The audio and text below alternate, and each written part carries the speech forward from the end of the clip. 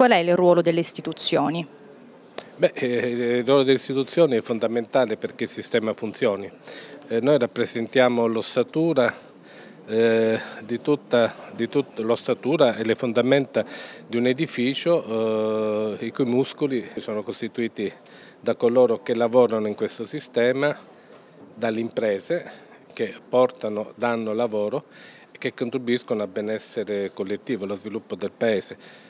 Nel mio caso è fondamentale cercare di creare un eh, ambiente favorevole allo svolgimento regolare eh, delle attività economiche.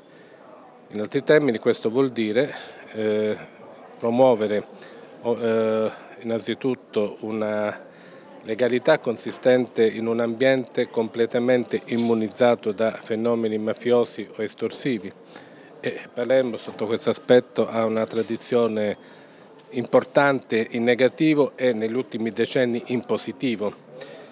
Eh, un ambiente immune dalla pressione delle organizzazioni criminali, un ambiente favorevole allo sviluppo economico e allo sviluppo di un'imprenditoria sana e vorrei aggiungere vera perché se io devo svolgere un'attività in un posto in cui mi viene imposta un'estorsione è chiaro che l'economia viene inevitabilmente eh, condizionata in negativo e noi invece abbiamo bisogno di economia vera. L'altro compito è far sì che chi lavora nelle imprese lavori nel rispetto delle regole, regole di sicurezza, regole previdenziali. In altre parole si tratta, noi dobbiamo fare in modo che il sistema funzioni.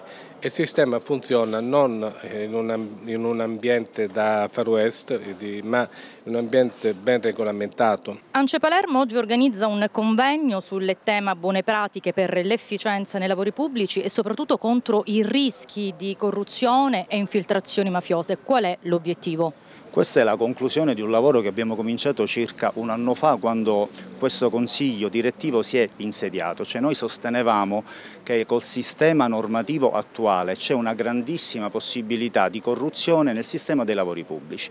Abbiamo raccolto dei dati che oggi li, li, presentiamo che ci dicono che il 90% delle gare d'appalto sono senza evidenza pubblica, quindi c'è la possibilità di una permeabilità quasi totale, quindi noi oggi che mandiamo questo grido d'allarme, però contemporaneamente con delle buone pratiche raccontiamo e chiediamo alle pubbliche amministrazioni di adoperare dei sistemi per diminuire in maniera importantissima questo rischio di infiltrazioni che ad oggi ci rendono veramente preoccupati, quindi è veramente un grido d'allarme.